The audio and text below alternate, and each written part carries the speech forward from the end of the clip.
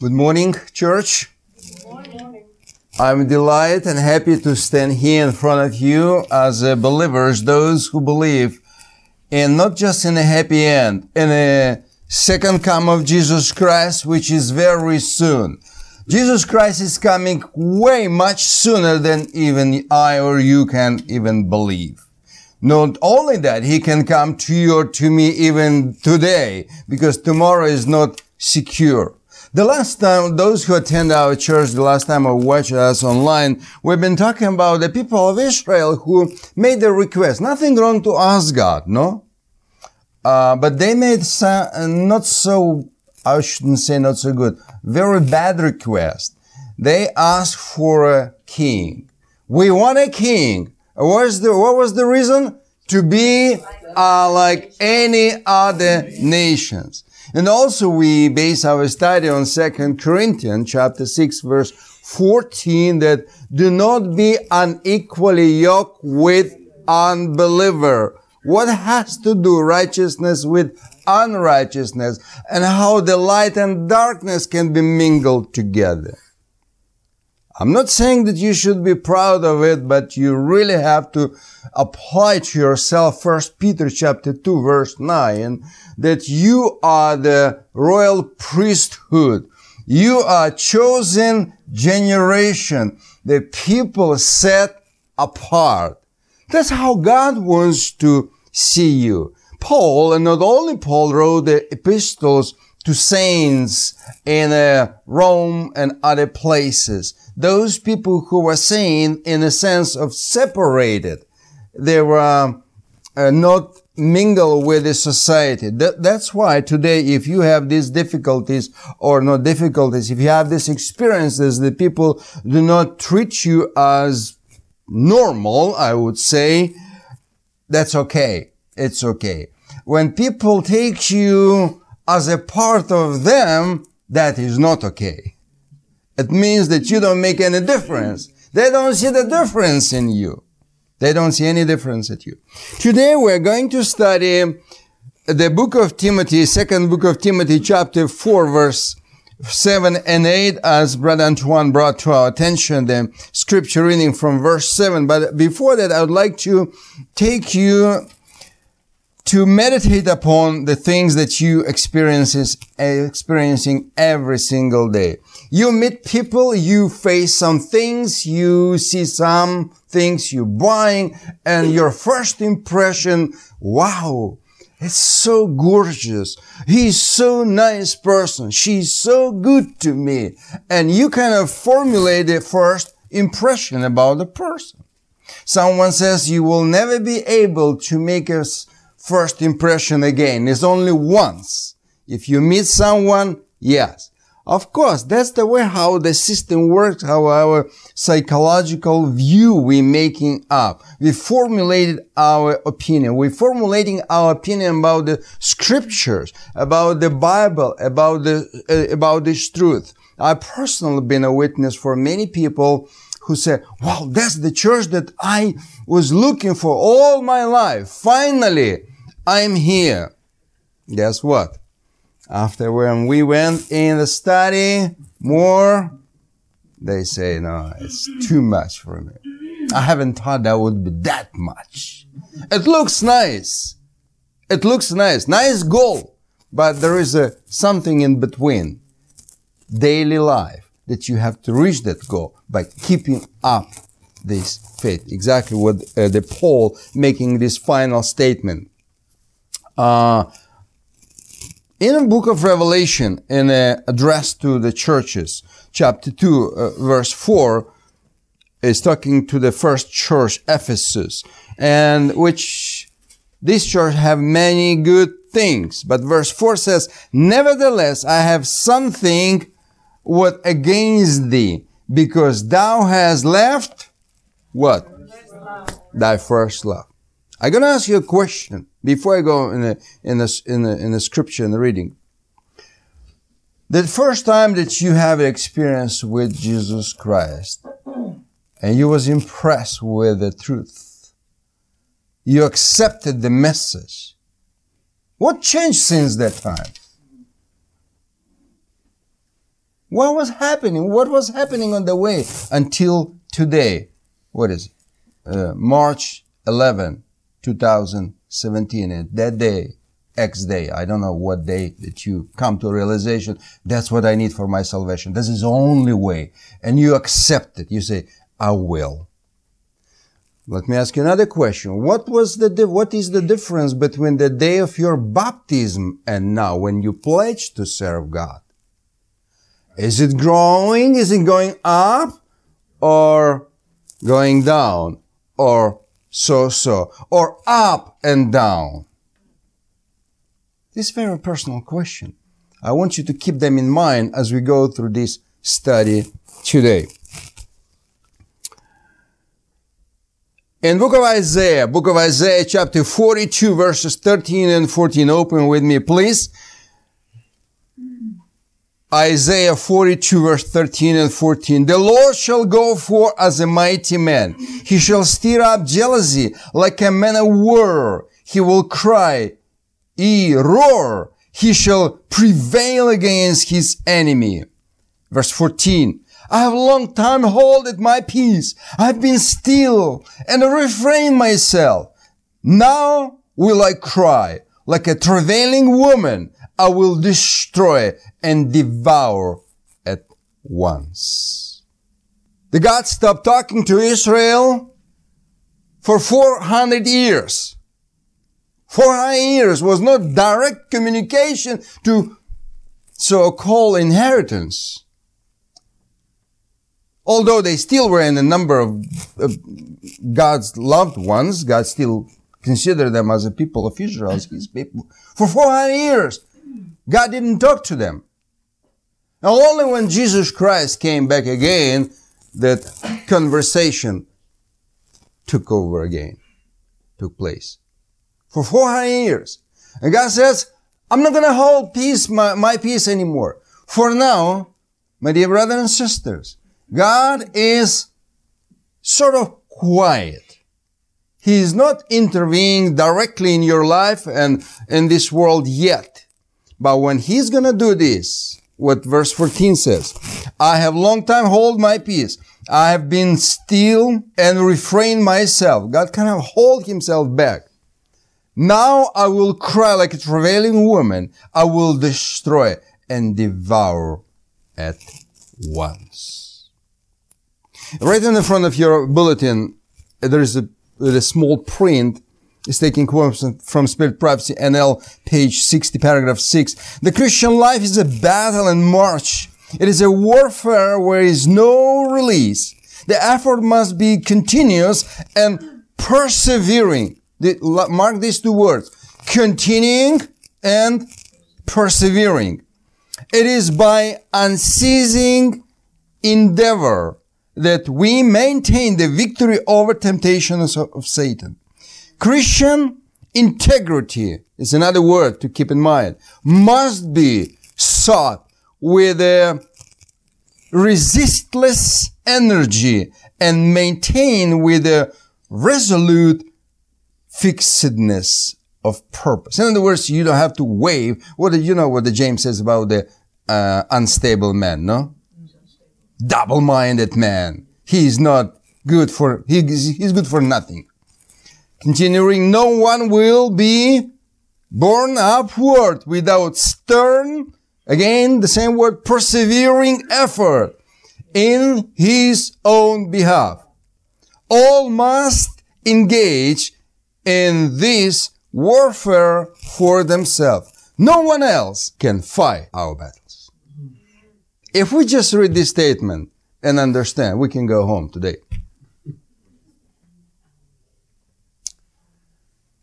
Brethren, you got to have your own Calvary. Nobody else can go. It's like nobody can eat for you. You got to eat for yourself in order to get strength.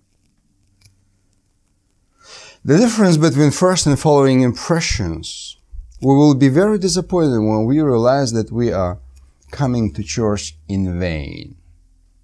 If we don't have that persistency, if you're not continuing grace, if you're not growing, if you're not learning, if you're not practice what you learn, what is the point? You might impress me, each other, your neighbors who knows that you are going to church, your family, but God mark that box empty. Weighed it on a balance and found wanted. This is a big, big problem for every single person who is sitting here. Anything what we're doing in vain puts us down. Since we came here, let's do everything possible to be benefited from coming here. Okay? Not just make a mark. Oh, I was there. And remember, the Word of God has a power. John 1 1. In the beginning was the Word, and the Word was with God, and the Word was God. Whoever was speaking today, God just used you. God is using me. Just pray that I would not bring any selfish ideas here, that you can hear directly the word from Him. Whoever is coming here.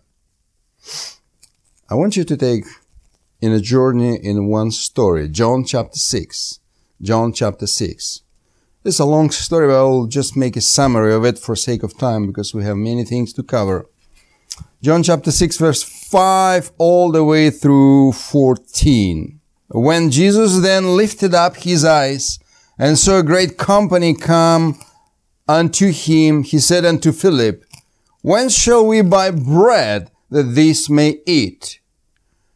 And this he said to prove him, for he himself knew what he would do. Philip answered him, 200 penny worth of bread is not sufficient for them, that every one of them may take a little.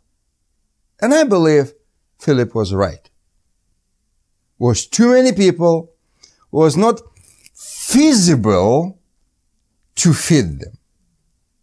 So the problem is big, and here you are. Andrew is coming with a kind of suggestion, solution. Uh, he said there is a lad here which had five bar- barley loaves and two small fishes. But what are they among so many?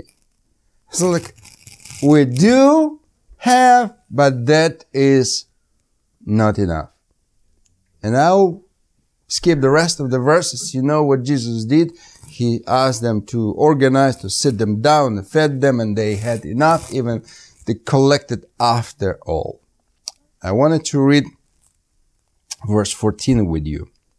Then those men, when they had seen the miracle that Jesus did, said, this is of a truth that prophet that should come into the world. Were they impressed with this? What do you think? Very much. Very much. That is the one. That is the one. And they cheer and they were so, so, so happy.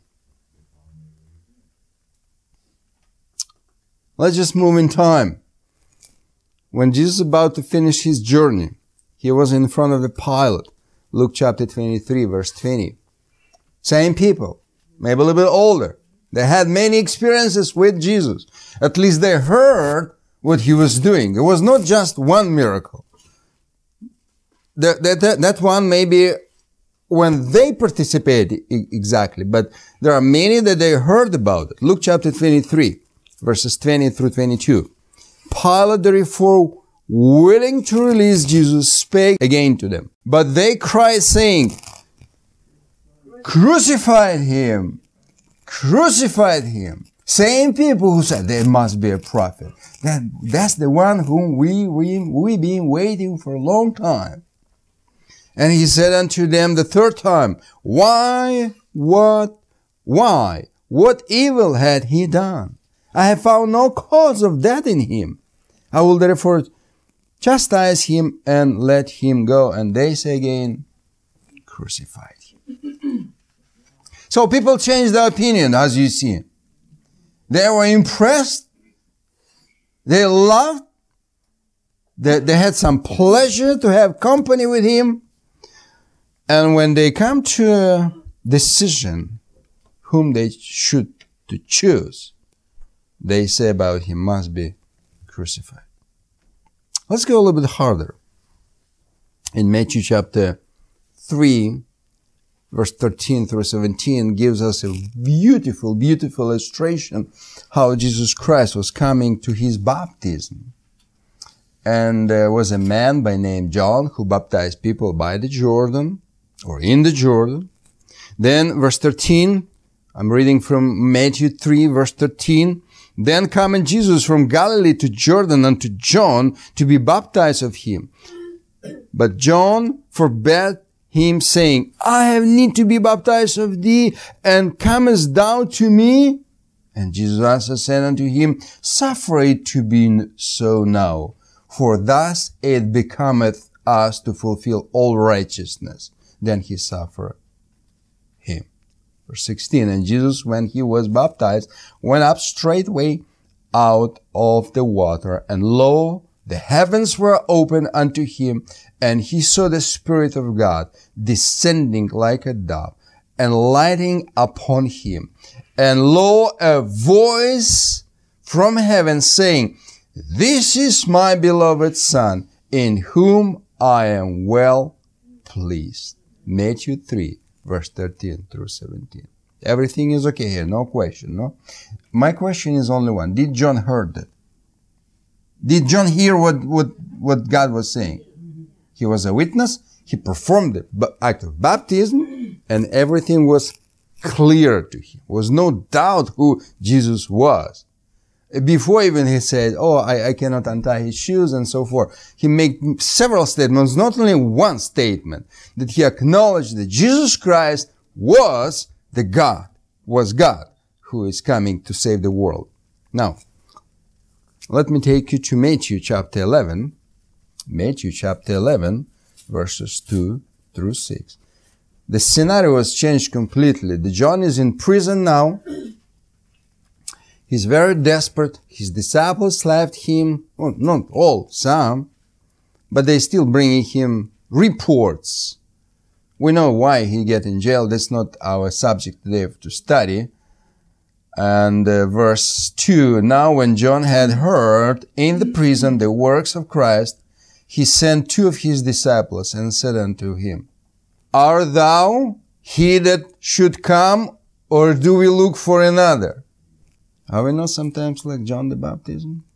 Had such a great evidence in front of us.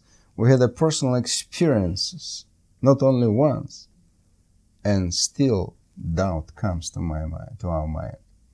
For those who have this problem, I really recommend you to read book Steps to Christ about the doubt. It says one quote there that God will never take doubt away from you. It's still going to be present there and you got to deal with it. You have to deal with that. God cannot just erase completely from your memory and you're going to be just uh, programmed for positive. No, no, no, no. You got to face it. And I'll just keep this in mind. Uh, i would like to take you a little bit back when David came to see his brothers and there was a man by name Goliath who was coming out every single day, day and uh, defiled Israel and spoke bad words about that and many other things he have done.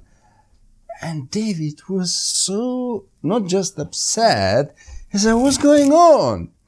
The God's name down on the ground and this uncircumcised Philistine doing this. I'm gonna go and take him down.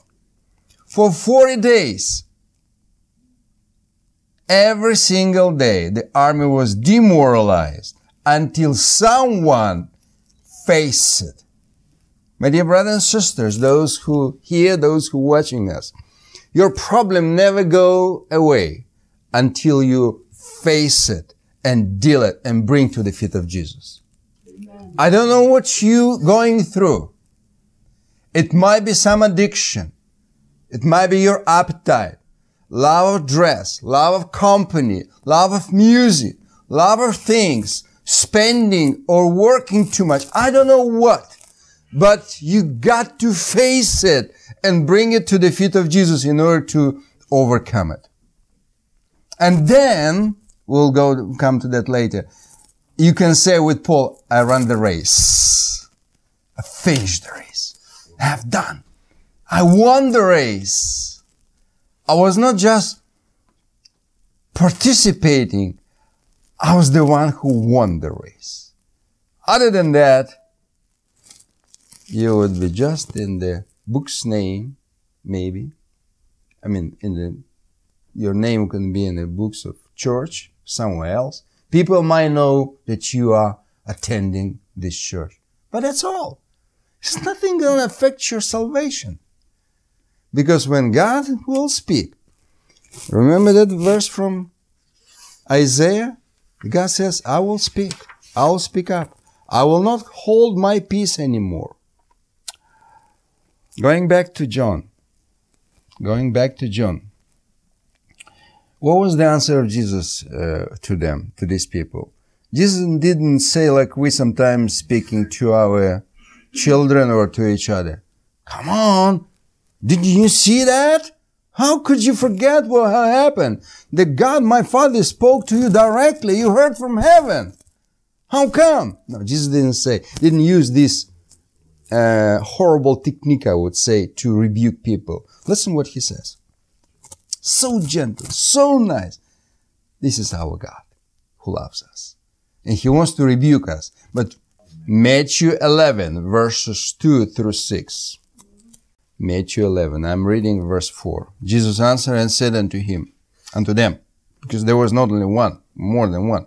We don't know how many.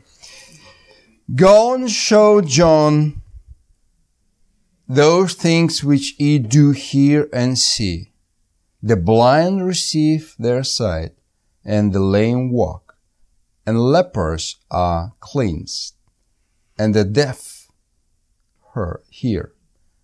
The dead are raised up, and the poor have the gospel preached to them. And verse 6, the key verse. And blessed is he whosoever shall not be offended in me. There was a, such a nice rebuke. You know, when you rebuke someone with nice words, people thankful to thee. If you rebuke, rebuke them with stern words, abusive words, nobody's going to accept that kind of rebuke. You just broke the rela- break the relationship. One more and we'll go to next subject. Nicodemus, John 3, very famous conversation. Nicodemus John chapter 3 verse 1, there was a man of the Pharisees named Nicodemus, a ruler of Jews. The same came to Jesus by night and said unto him, Rabbi, we know that thou art teacher come from God, for no man can do these miracles that thou doest except God be with him. Nice introduction, no? But in reality, something else was behind all of that. Jesus saw that, he knew that, and he stopped him right there. He said, you must be born again. And that, he came by night, by the way, he was kind of hiding himself. And uh, Bible does not say anything that he was somehow active or talking more to Jesus during his mission for three and a half years. But look what happened then. Uh, John chapter 19. John chapter 19. Verses 39 and 40. When Jesus died on the cross. And there came also Nicodemus, which at the first came to Jesus by night and brought a mixture of myrrh and aloes, about a hundred pound weight then took they the body of Jesus and found wound in a linen cloth with the spices, as the manner of Jews is to bury. Nicodemus, who had a chance to spend time with God, this perhaps oh, he was so regretting for, for wasting the time and opportunity. And he had a chance now just to come to the dead body, not living Jesus anymore. The opportunity that we have we should really, really, really use it. First and following impression. What is going to happen with you and me between first impression and life of repentance? There's two kind of attitude. I can be impressed, but if I'm not using this anymore, if I stop just there, doesn't make any sense to me.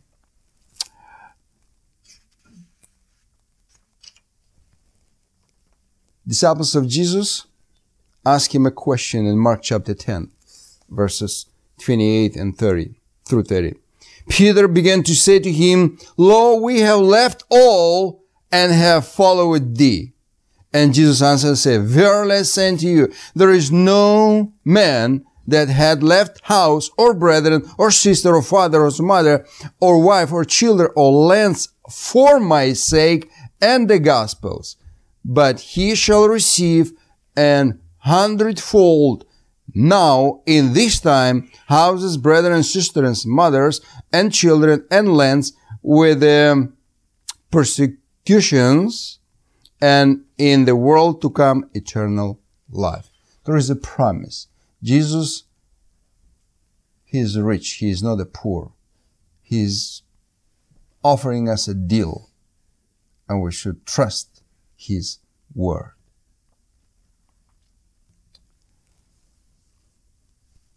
In Thessalonians chapter 1 verse 3, Thessalo- 2 Thessalonians chapter 1 verse 3, we are bound to thank God always for you, Paul writes, brethren, as it is meet, because that your faith groweth exceedingly, and the charity of every one of you all toward each other aboundeth.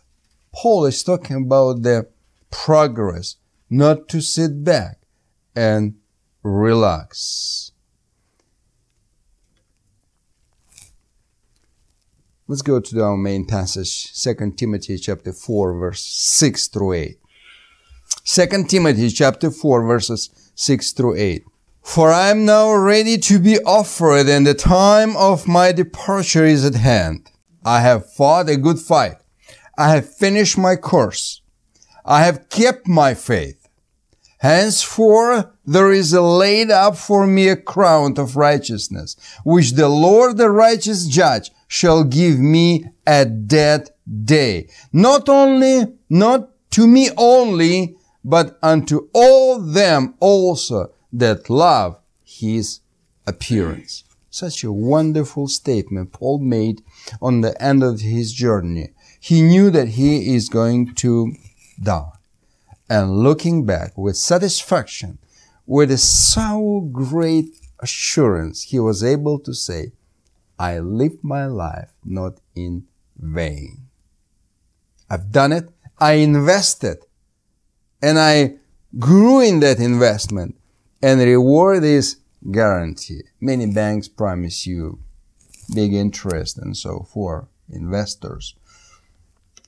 Many times doesn't go true. But Jesus Christ says, if you invest in me, you're going to have same result as Paul did. The Christian's life is often described as a conflict of war. We are in constant war. Do you know that? We, we have, the, the Satan declares us a war. Actually, we were on a Satan's side. And once we step on the side of Jesus, because by birth, you are um, born in sin, with sin. And once you conscientiously choose to move on the side of Jesus, you become enemy with Satan. But before you do that, you're enemy with God. That's how it works. Ephesians chapter 6. Ephesians chapter 6. I'll read from verse 10. Ephesians 6, 10. Finally, my brethren, be strong in the Lord, in the power of his might. Verse 11. Put on whole armor of God and you that you may be able to stand against the wiles of the devil. For we do not wrestle against flesh and blood, but against principalities, against powers, against the rulers of the darkness of this age, against spiritual hosts of wickedness in the heavenly places.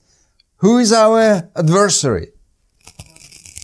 He's, he's Satan himself. He's using different people. He's using my friends, relatives, family members, my boss, whoever is around me to irritate me that I would lose my salvation by wrong expression, losing temper, and many other things. And next verse 13, therefore take up the whole, whole what? Armor of whom? Of God. Don't use your own techniques. Is that it, it will not, will not work. That you may be able to withstand the evil in the evil day and having done all to stand. In other words, he's saying, if you would use God's methods, use his armor, you, your victory is guaranteed. Your victory is guaranteed. And he goes on, he said, having girded your waist with truth. First, you have to really know, kind of tight up yourself, your belt, and keep strong. You can lift up the heavy stuff once you uh, have a good belt around you. Having put on breastplate of righteousness, you got to protect your more sensitive part, your heart, with the, not your own righteousness, with his one. Having shoed your feet with the preparation of the gospel of peace, you got to go. You cannot stay and just enjoy or relax and shield of faith with which you will be able to quench all the fiery darts of the wicked. And also he suggested to protect our head with a helmet of salvation. And finally, to have what? You not just have to defend yourself. You got to you, you, you have to not to be in, in, in defense, in offense as well. You got to have your sword of the Spirit, which is the Word of God. Very good. Very good. Okay. I'm glad that we know these verses and will help us to implement them anytime when you're facing it. Paul could look back, as we said earlier, over his life with satisfaction. First Timothy chapter 12 I think, Christ Jesus our Lord who had enabled me for that he counted me faithful putting me into the ministry. It's Paul expressing in First Timothy. I'll give you a chapter reference later. First Timothy chapter 1. But I wanted to move all the way to verse 16, 14. And the grace of our Lord was exceeding abound, abounded with faith and love which is in Christ Jesus. This is faithful saying and worthy of all acceptation that Christ Jesus came into the world to save sinner of whom? If we can replace Paul's name with us, that would be perfect. Howbeit for this cause I obtain mercy that in me first Jesus Christ might show for all long suffering for a pattern to them which should hereafter believe on him to life everlasting. He said, look, God found me and he bestowed his grace upon me. And uh, I wish people use me as a pattern, as, as, a, uh, as an example how to reach salvation. Can we say that with Paul? I wish people look at me and, and uh, do what I do in order to be accepted by God. In Philippians chapter 3 verse 12 through 14, one of my fa- favorite passage talking about the perfection ongoing process. Philippians chapter 3 verse 12 through 14. Not that I have already attained or am already perfected, but I press on that I may lay hold of that for which Christ Jesus also laid hold on me. And verse 13, a key verse. Brethren, I do not count myself to have apprehended, but one thing I do, forgetting those things that are behind and reaching forward to those things which are ahead. I press forward the goal, toward the goal for the prize of that, of the upward call of God in Christ Jesus. Such a wonderful, wonderful assurance. We will at life's end be able to look back at the fight as a well done. Having received, received the mercy of Jesus, mercy Jesus offers for our sins if we accept it. Having fought the good fight of faith, laying hold on eternal life. We talk in our Sabbath school about the goals. That Abraham had a higher goal to reach um, that communion with the Lord, and he has in his mind the God preparing for him better city, and that's why he was doing all those things. So do we. We are not different. We talked about that also. The salvation is not way di- not different for Abraham or for us. Same, same principle. Same principle. First Timothy chapter 6 verse 2. Fight the good fight of faith. Lay hold on eternal life to which you were also called and have confessed the good confession in the presence of many witnesses. The Timothy was a young man. His mom was uh, Jew and um, father was Greek, and he was one of the disciples of Paul. And Paul really wrote him these encouraging words. I believe we can share same thing. And uh, second point in, in verse 4, in verse 7, 2 Timothy chapter 4, verse 7, he said, I have fought a good foot. I have finished the race. Paul compared Christian life with, uh, to run the race. First, First Corinthians 9, 24, 26. And uh, he is bringing up to our attention that there were races or marathons run in a Greek and other countries surrounding there. Verse 26 only I will read therefore I run thus not with uncertainty. Thus I fight not as one who beats the air. You know, the Christian, Christian race is not a sprint distance. Do you understand the uh, difference between sprint and marathon? A sprint is a short distance. You got to use all your energy, run whatever, 100 yards, 100 meters, and you're done. Uh, for marathon, you have to have that endurance to finish the race, to start and finish. As m- many times I mentioned this, it's not that difficult to start. We have emotion, we're impressed, we like it, people welcome us, and we kind of fill in. And after when the routine begins, when all these emotions cools down when daily work we have to do. Then the problem begins. Imagine Noah. Noah who had the call from God to build the ark. And um, it took him 120 years to build. Much longer than our lifespan, huh?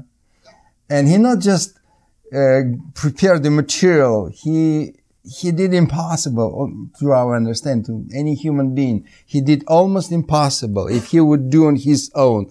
But god encouraged him not just to bring the material to make the blueprint and to start it to process and finish the work. That that was that was it that was it. Hebrews chapter 12 verses 1 and 2, therefore we also, since we have, we are surrounded by so great cloud of witness, let us lay aside every weight and sin which so easily ensnares us and let us run with endurance the race that is set before us. But that's not all. He didn't finish his thought. This next one, he says, looking unto Jesus, the author and what else important? Finisher of our faith. He is the one who is going to finish, not you. Who for the joy of was set before him endured the cross, despising the shame, and has sat down at the right hand of the throne of God. That's, that's what, that's what uh, required today. Paul could look back over his life with contentment. He had run the race to win with certainty. He didn't doubt or somehow, maybe I will be among the winners. No, he said, I will. And he did. Uh, and third part of this verse 7 says, I have, I have kept the faith. It's important part two. It's very important. Uh, first, second Timothy chapter 4 verse 7. I just read the last part. First Timothy 1.11 says, according to the glorious gospel of the blessed God, which was committed to my trust.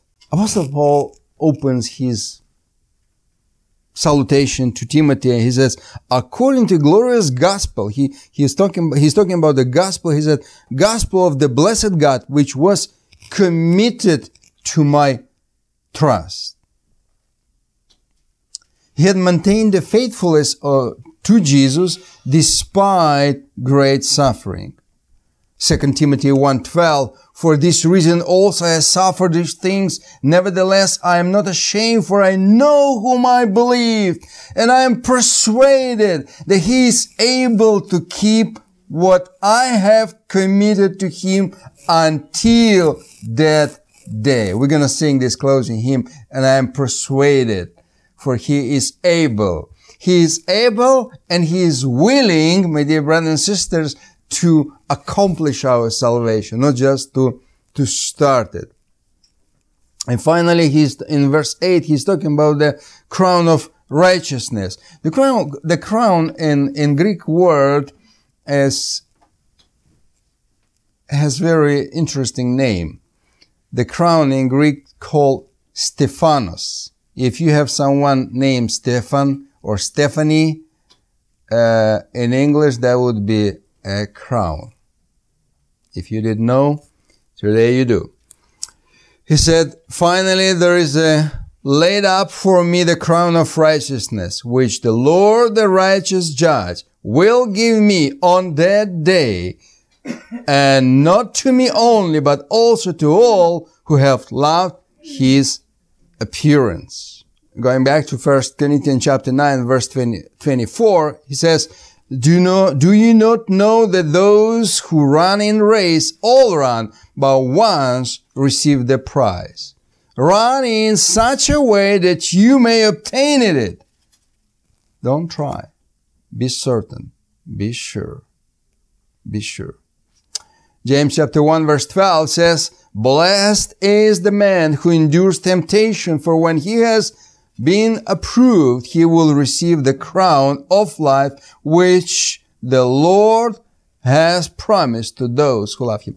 You know, when you, uh, when you look watching these Olympic games, they have like golden medal, uh, silver and bronze. In the Bible, we don't have any, any such a division or grades. Winner only.